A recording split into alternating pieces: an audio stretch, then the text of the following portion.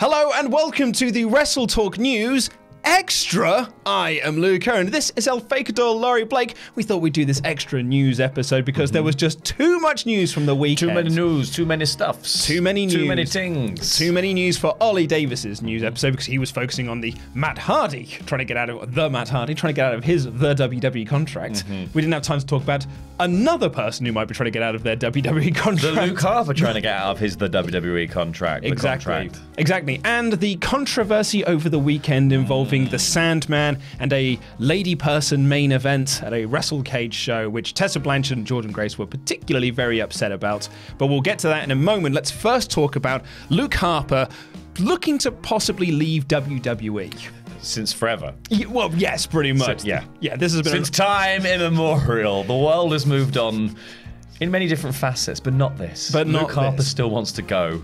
Indeed, he does. Yeah, this has been brewing for quite some time, but there's been an update to this story. According to PW Insider, on um, November 26th, WWE star Luke Harper applied to trademark the name Brodie Lee for, this is where we get into legal mumbo jumbo, legal mumbo jumbo, IC 025 US 022 039 G and S shirts and very well. IC 041 US 100 101 and 107 G and S entertainment services, namely wrestling exhibits and performances by a professional wrestler and entertainer.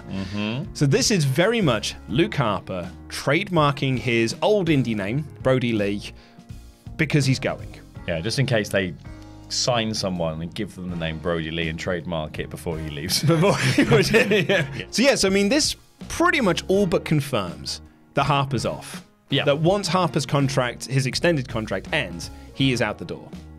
You would have to imagine he would want to though. Like, is, is that sort of like you? want- I mean, you have to get to a certain point of pissed off to ask for your release anyway, Yeah. and then to be denied it, given more time to your contract, and then nothing to do. You must just be sitting there going, "Why? Why do you even want me here? Yeah, you are keeping me you, prisoner, You're paying me to punish me. Yeah, it's rumored that his contract is going to end in summer 2020, the extended version of that contract. So, AEW, maybe Ring of Honor, Impact. There's a, there's a lot of places for mm-hmm. for and like. You got to imagine that people will be chomping at the bit to sign Brodie Lee. There was a WrestleCade show over the weekend, with the main event was supposedly going to be Jordynne Grace versus Tessa Blanchard versus Taya Valkyrie versus Rosemary, but uh, unfortunately Tessa Blanchard was injured and she was replaced by Su Yung. So that was going to be the main event of the show, and it was the main event of the show. The However, Impact Women's Division. Exactly. Yeah. Yeah. However, Jordynne Grace tweeted out, um, I think I believe it was either during the show or after the show. Hey, remember that time the Sandman came up to four women about to main event to tell us that women main eventing is quote wrong and quote any male wrestler with any sort of experience would agree end quote. Was this in 1998? No, it was tonight, December 2019. Oh dearie me. Yeah, that is that's bold. So it turns out that Sandman's new gimmick is he's a YouTube comment. yeah, he's a troll.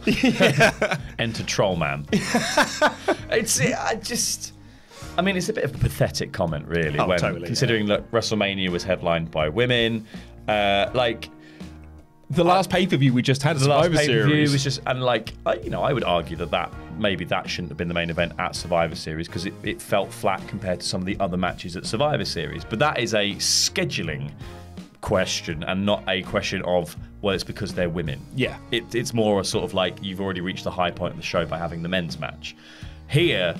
This feels like a high point of the show. It's like a really good selection of people in a match. It's like it's a shame that Tessa wasn't in the match, but like Su Yung is an admirable replacement, and I think that's a like that would be a really entertaining combination of people to watch. Completely. watching Sandman, what bring a kendo stick in? Ooh. Yeah, I was gonna I- say. I don't care. getting that nostalgia pop Yeah, just from 30 years he's ago. an entrance. yeah, exactly. It's um, it's yeah, it's a real sad state of affairs to kind of be in that position because to WWE's credit, and I will always credit them for this, they have made women main eventing their pay per views feel like it's not a big deal. Mm-hmm. Like it's just like it is a standard of a WWE Yeah. show if women are the main events, and I think that's actually it's really admirable that they've managed to do that. And to Impact's credit, they've also managed to do that. Their whole Tessa Blanchard, Sami Callihan storyline has been one of the best told stories of the mm-hmm. year. So Tessa main eventing their next pay per view, challenging Sammy for the title, feels completely legit. Yeah. It's really it's AEW's biggest failing is their women's division currently. Mm-hmm. So then for Sandman to say in 2019. You know, Tessa says in her promo 2020, and you know, essentially is 2020 at this point. That to still hold that as, that that ideal that well women can't main event a show any real man with years of experience would tell you the same thing is pretty much ludicrous at this point. Yeah, I mean, when he was popular, that was it definitely was the case. Well, so it was an ECW. Yeah, there were no like- women there unless yeah, they were there to but- show their tits. Well, exactly, but I guess that's the that's the thing is like it's having that view from years ago that you've never moved on. Um, Tessa then got in the ring uh, after the match and cut a promo. yeah, it was just before the match because she was Oh, it there was to just win. before the it match. was, she Oh, was 'cause there she was there to introduce Su Yung. That's, That's that's right, yeah. Because it really made me laugh because so Jordynne Grace was the first person to uh, to tweet about this to be like, hey, here's what Mm. know, here's what's up, and then a lot of people got onto Jordynne's back, being like, well, that's just your word against his. Like Yeah. Sandman's not here to defend himself. He's not saying anything about it. And then, yeah, someone posted up this video of Tessa Blanchard going like, "Here's what happened." Yeah, yeah. And I was in the back earlier tonight, and I had to listen to an old ECW guy that used to have a beer in his in his hand talk about how women shouldn't be main eventing this event or any event.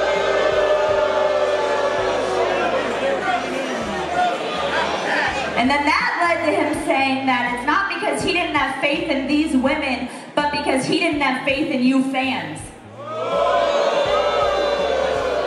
So yeah, so this got a, a lot of heat on on Sandman, who, like, for the record, has only ever really come off as a nice guy. Like, I've watched a lot of shoot interviews with the Sandman. He's a very, very intelligent person, a very, very wise man, because his whole gimmick is that you know I'm this drunkard man with the kendo stick and the beer cans. But actually, when you watch him in interviews, he's so articulate and intelligent. He's a very, very good property guy as well. Like, I swear mm. he's really made all of his money is through property.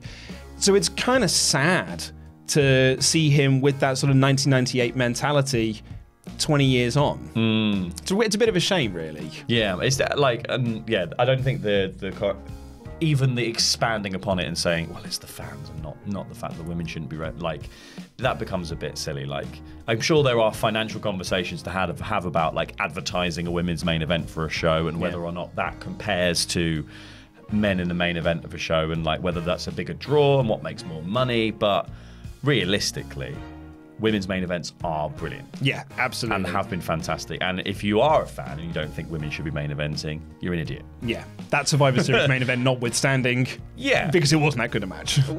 But it was It was a- it was a really good but story on paper, in, the proposition Yeah, of the match was, was. very exciting. Like I would have like knowing that going into the show, knowing that was the main event, I would have been excited for the match. Completely. In the same way, there's been plenty of main events that I've been excited for that fell flat. Uh, Fiend Seth Rollins. Yeah, I know. Yeah, yeah. You know, it's not unique to them. Yeah. absolutely, it's not unique to them. Um, and it appears that Jordynne Grace and Tessa and everyone they weren't the only ones upset by this. A few other people got involved. Chris Jericho, uh, AEW champion, uh, tweeted, "I don't agree um, with the Sandman." I'm sure he wasn't saying he doesn't agree with Jordynne Grace's position on this. You'd hope so. You'd hope so. Uh, Madison Rayne uh, of Impact said, "Gross. I hope he stuck around to see the match and eat his words." Uh, Will Ospreay said, "Really? Uh, most of the women wrestlers are pulling off more innovating and exciting stuff that the ever before." Will's not the most articulate man in the world. Um, can't tell you the amount of times I go to a Stardom match and want to retire because their matches are insane. Let's not interfere with progress. Everyone keep killing it. Shazza McKenzie said, I, dot, dot, dot, am speechless. And Melissa Santos said, what the F, dot, dot, dot, dot, dot. Wow. Yeah. Yeah. I think what the F is the only real response is to be like, yeah. well, you're here and you were booked lower than this, so please be aware. You know, we've had, a, had 20 years of Enter Sandman. Now it feels like, get out, Sandman. yeah, please, Sandman, please go Eg- exit now. back in your box. Well, that is all we've got time for on this edition of WrestleTalk News Extra. Let us know if you enjoyed this sort of format. Maybe we'll do some more of it because often there are times where we can't get every news story uh, done in the day. So this might be a new fun way for us to do that. Uh, click the videos that have just appeared on screen right now. Let us know in the comments below what you think of both of these news stories and where you'd like to see Luke Harper go. Do you think that Sandman was right in his comments? Obviously, he was wrong. Uh, and give us subscribe and support the channel. I've been Luke Owen. This has been El Fakador Laurie Blake, and that was wrestling.